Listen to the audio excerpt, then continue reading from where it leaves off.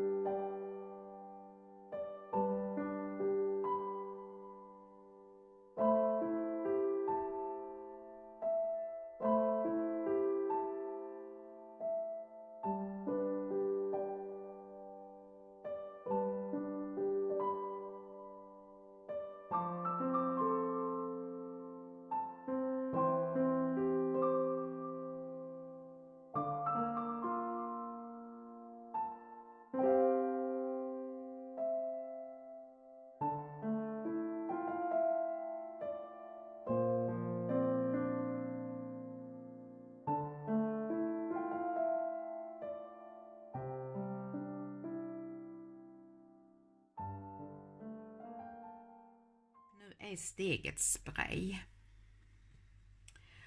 Och samtidigt är utmaningen också att det ska inte vara spray på hela sidan, det ska vara lite tomma ytor, vita ytor. Så därför har jag våtservetter och jag har hushållspapper. Jag plockade fram en pensel för ibland så fungerar inte den här sprayfunktionen. Då kan det vara bra med en pensel och doppa i flaskan och så. Och lite vatten. När det är moonshadow så är det den huvudsakliga tonen är brun. Så ni tänker på det. Även om denna här är röd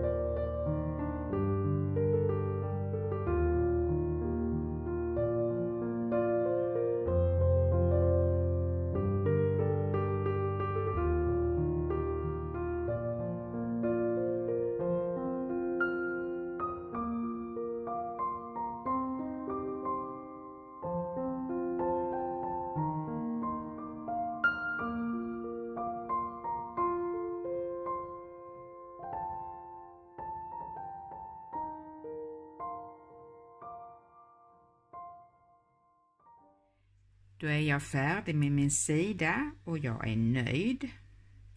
Det var ett tag där som jag blev lite osäker på hur det skulle gå men, men eh, till slut blev det bra i alla fall. Så pass bra att jag tänkte